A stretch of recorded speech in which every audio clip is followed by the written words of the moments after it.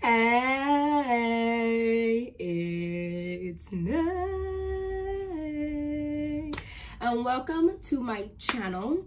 So, today I have for you six fragrances to bring forward to what either your fragrance tray or closer to your collection, guys. I got Poison Ivy.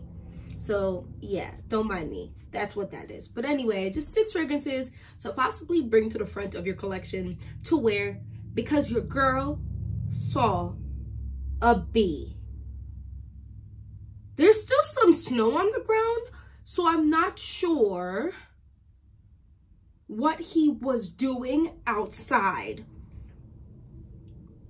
But I didn't like it. So, and I was wearing C Intense earlier today, and I kind of freaked out took the clothes off, changed my whole fit. Like, y'all.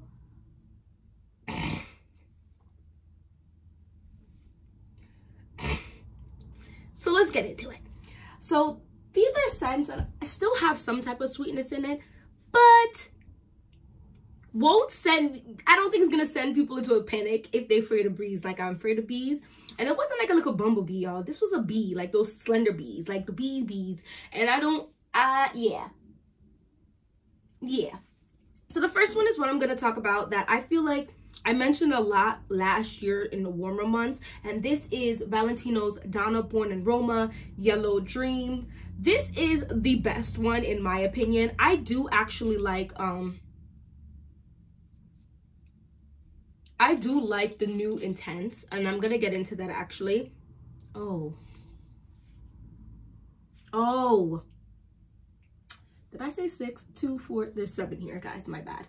So this is a lemon rose musk fragrance. So it's, it's definitely musk is the primary note here. And there's definitely that bright lemony vibe with a feminine touch to it. That feminine touch might just well be that rose for sure. And I think that's what those are the only three notes in this fragrance. It is beautiful. It's simple, but it is a beauty in its simplicity, if that makes any sense. I feel like there's a lot of fragrances out there with a sugar ton of notes, and one note can ruin the whole fragrance for you. If you know lemon, rose, and musk work on your skin, this is kind of one of those fragrances I think is going to just work for a lot of different people. It's a pretty musk. It is not a super powdery musk. It is um like that your skin but better type of musk. The lemon is beautifully done in here. It is not giving lemon cleaner.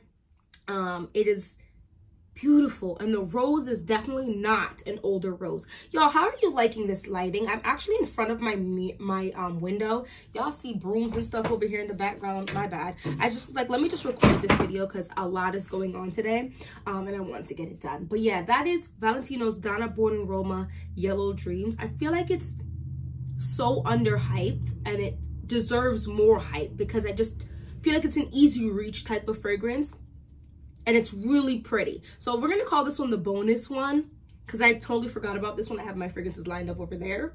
This is Oakcha's Morning Rain, which is their dupe for Byredo's Gypsy Water. I love this. This is the least amount of sweetness, I believe, out of all the fragrances. This is a bright, citrusy, juniper berry, very pretty, very pretty Still the sweetness a little bit from the citrus. Oh, but fresh. It's a fresh. Um, it's still cold outside, but like, and there's still some snow on the ground, but like, this is just nice. This is just pretty. This is, I think this is truly very, very a masterpiece. Um, would I buy a Byredo fragrance? Um, I'm not sure.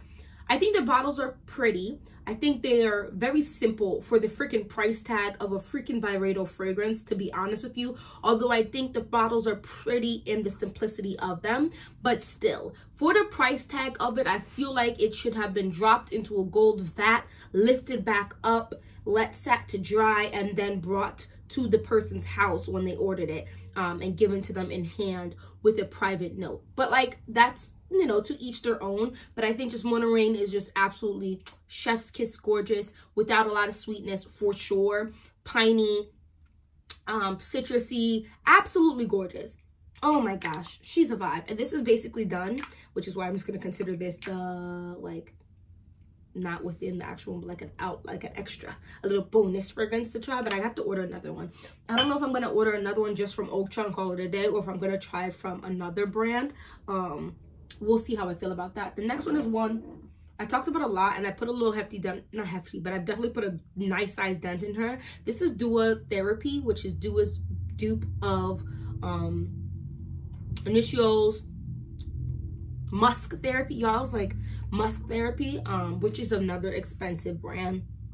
She is a stunner. She is a vibe. I love this. I think that she smells definitely a musky fragrance. I feel like a couple of these, this is a musky fragrance, but um, like a bougie orange juice. I, I hate saying that because I always feel like it just sounds weird. Like that's what you want to smell like. But yes, yes, I do want to smell like bougie orange juice. Yes, I do want to have this musky vibe. This is a great one. I actually wear to the gym quite a bit. This is one that's great for every day. And I just, I might own an Initio fragrance one day. One day. Because I just love the bottles too. But like, for the price tag of Initio, yes, two nails fell off. Don't judge me. I feel like to have an everyday scent of an Initio fragrance is wild. Um, and so I, I think Dua did a good dupe of it. I have smelt the original a few different times. I go to the Neiman Marcus and such quite a lot. And I smell those fragrances. And this is so beautiful. It's just, it's it's it's like I say the must like the bougie orange juice because it's definitely a very orangey scent to it, very musky, very fresh, slightly tinged with sweetness. Now I'm telling, I'm offering up these fragrances to you. I don't know how your bees act, and all you know, each time bees can get braver, but like I feel like these are the bees are less likely to swarm around you with these while still giving you that you know? This is coco mademoiselle. I had to talk about her guys. I had to bring her up in here. I love this. This is a patchouli based fragrance. It is bright like a, a citrusy type of vibe. She's got a little bit of sweetness in her. Oh she's uh, she, she's pretty.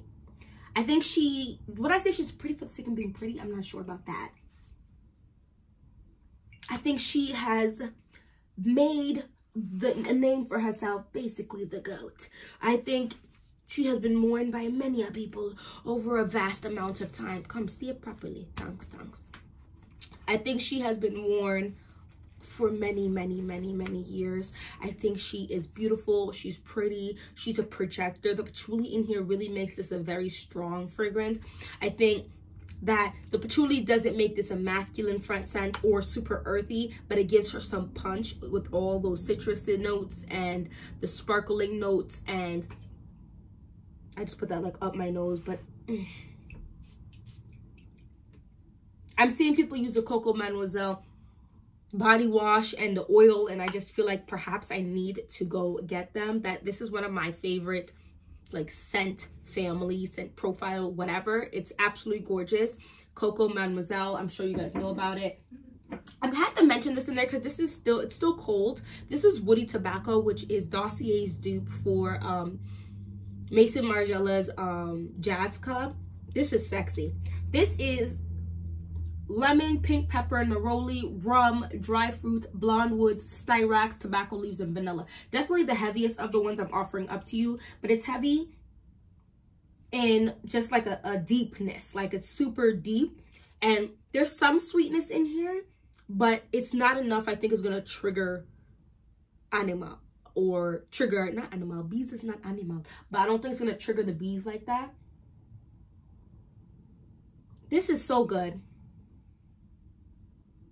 This is so good. This is almost definitely very unisex. Sometimes it leans a little masculine to me, but like I'm not mad about it. It's not the masculine in a way I'm like, oh my gosh, it smells like man.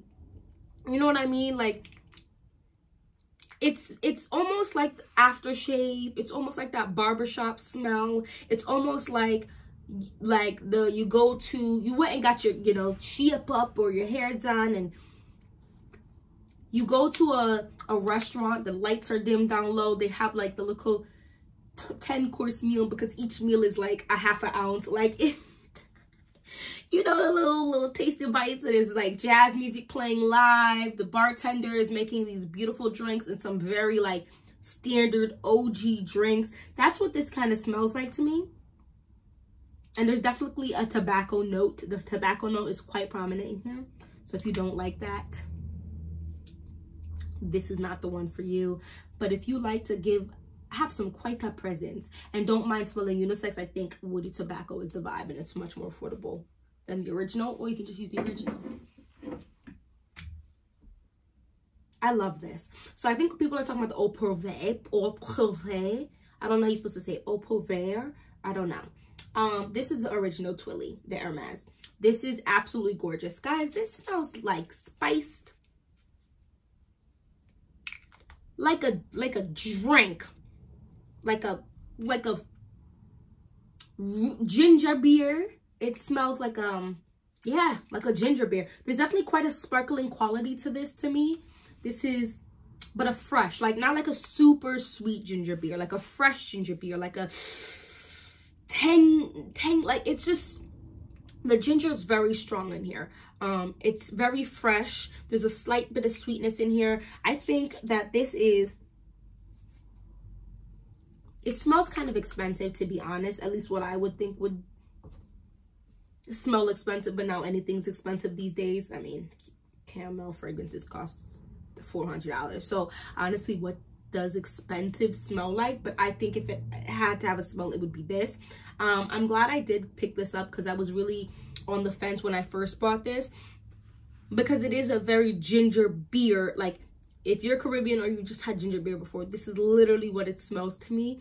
Like you crack open that ginger beer and that ginger bubbling to the surface and that bubbliness in the ginger beer but that also type of fr freshness in it Twilly d'Hermès but expensive. Okay so maybe they put it in like a crystal just look at a tiny glass that you with a stem on it or something.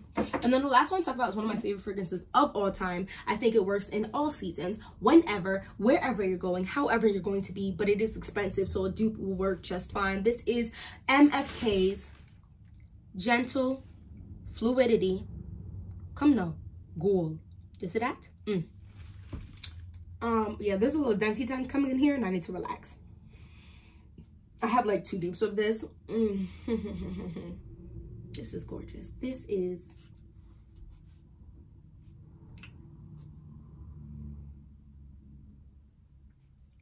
It's got some sweetness in here for sure. It's a vanilla fragrance, but it's not a vanilla thick dessert fragrance. This is juniper berries. This is, so it's a little, it's a little piney it's a like outdoorsy. It's almost like a pixie or a woodland fairy. If you were to actually come across one in real life okay like they are one with nature this might be what she smells like. This fragrance definitely leans a little fe feminine to me. Anyone could wear what they want when they feel like it but this just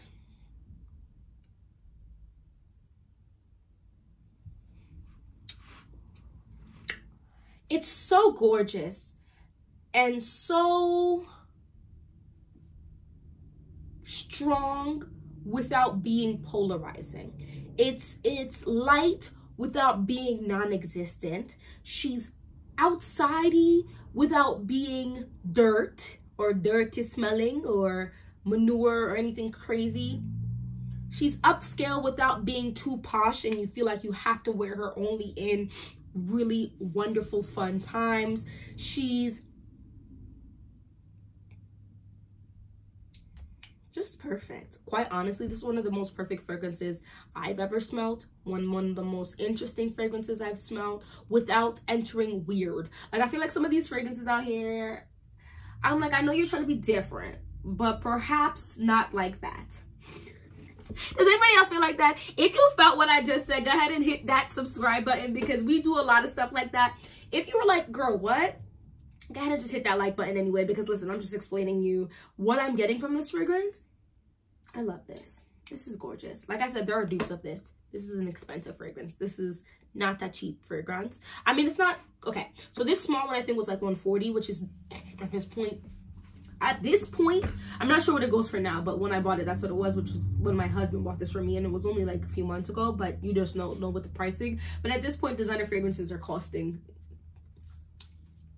big money. Um, but yeah, those are the six plus one fragrances that I feel like, listen, maybe pull them to the front of your collection. Um, you still want to be smelled, right? And I feel like these still have some protection to them, but you perhaps don't want to be attacked by the random bees that decided to come out early, to, to, to leave the hive. For what? I don't know. For who? I don't know. But I'm not sure if their queen told them to or not, or they're just not listening, or they just decided to fly solo. But I don't like it. Um, it is what it is. Um, but these fragrances I now are gonna be. I'm gonna have my eye on them. I'm gonna have my eye on them. Where's it? One of these probably. Anyway, thank you so much for watching this whole video. If you reached the end of this video, go ahead and drop me a B emoji. And um, yeah, drop that B emoji. And hopefully I'll see you in my next video. Bye bye.